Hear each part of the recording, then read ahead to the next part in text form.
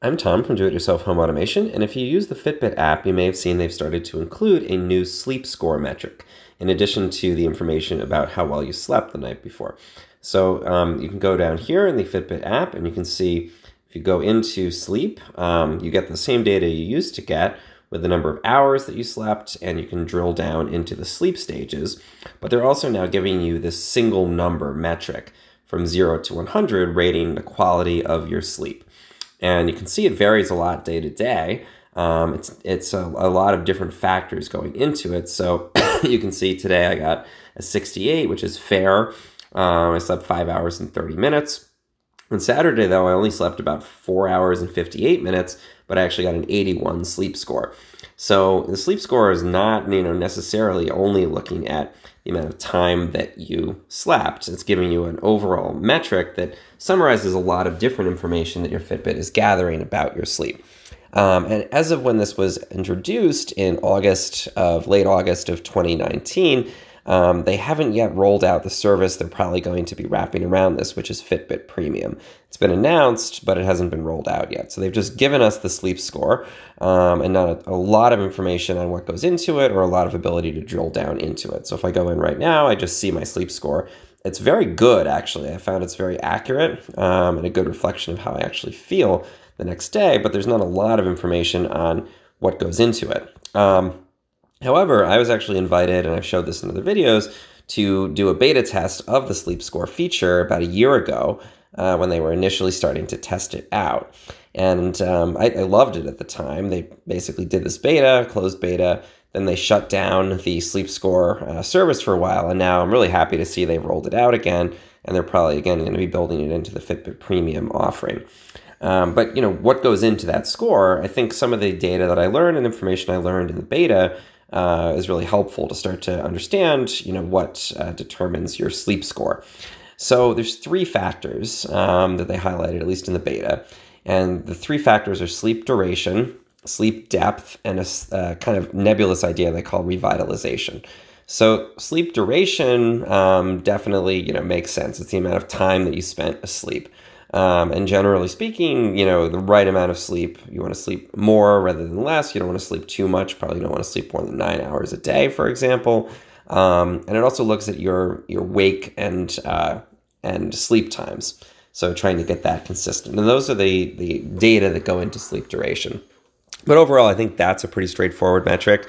Um, you can you know pretty clearly understand how that's uh, looking at just how much time you spend asleep. Um, also, that'll probably look at how often you wake in the night. Uh, if you're waking up a lot in the night, you're going to have a less restorative sleep. Uh, the second factor that went into it is sleep depth.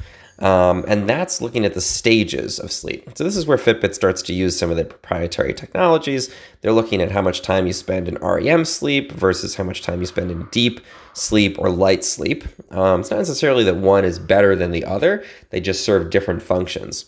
Um, so, you know, deep sleep is more restorative in theory for the body. REM sleep is when you're dreaming, and it's probably helping to consolidate information and make you feel more mentally rested the next day. But actually, higher REM sleep can be associated with things like depression. So there's a lot of different complexity going into that. Um, so they're they're looking at sleep depth and probably a lot of different factors in sleep depth to try to determine how deeply you slept, not just how long. Because they, they would say probably that it's better to have a shorter, deeper, more restorative sleep and to have a longer sleep where um, you know you're not sleeping as deeply and not sleeping as well. So that's the second factor. And then the third one I think is probably the most interesting. It's called revitalization, um, and this is sort of a summary of. Uh, they, they, don't say exactly what it's uh, looking at, but it was sleep, um, you know, breathing differences, uh, heart rates during sleep compared to your daytime heart rates. Um, and I'm guessing they don't say this outright anywhere, but I'm guessing this is where they bring the pulse oximeter that they have in the watch. Um, there's a, a, hardware post, uh, pulse oximeter in the watch, and it's not actually shown anywhere in your data. You can't read your um, SpO2 rating or anything, but it's looking at how much oxygen is in your blood. Um, and I think Fitbit will eventually show that data. They'll probably use it to target sleep apnea. But in the meantime, I think they're probably working it into this revitalization metric. Um, and, you know, again, differences in your heart rate when you're asleep versus your daytime resting heart rate. So these are getting really into some pretty proprietary functions of Fitbit, but um, that's the revitalization score. And uh, in the beta, they broke these three out into separate categories. So you could get your overall sleep score for the night and then a separate score for each of sleep duration, sleep depth, and revitalization. Um, my guess is when they roll out premium, they're probably going to have that same breakdown where you can see that and you'll have to pay a little bit more to do it, but you know, you'll get more data than just this single metric sleep score like we have right now. Um, they may even build in other kinds of uh, data into it, but you know, it's a pretty nuanced uh, number at this point. You get a zero to 100 summary of how good your sleep was, but it's looking at the amount of time you spent to sleep, how often you woke, um, the time you went to sleep, the time you woke up. It's probably comparing across uh, metrics for your age and gender as well.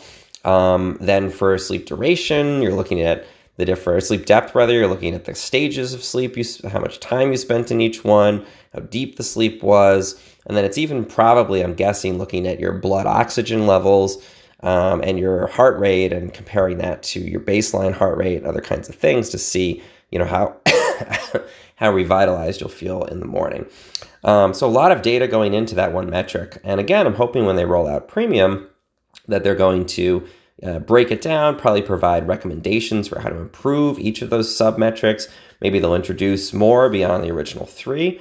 I really look forward to seeing that. But in the meantime, that's a general sense for how they're coming up with that number. And again, I find it works really well. I think it's a great summary um, of how I feel the next day. Um, and it's great to see, you know, even if you don't sleep that much, like four hours and 58 minutes on Saturday, I actually got a pretty good sleep, an 81 score. So, you know, it's, you don't have to feel guilty about not sleeping uh, the amount you're recommended. Uh, and, you know, I did feel pretty good that day. So uh, if you found this helpful in any way, please subscribe to my channel. It really helps. And uh, stay tuned.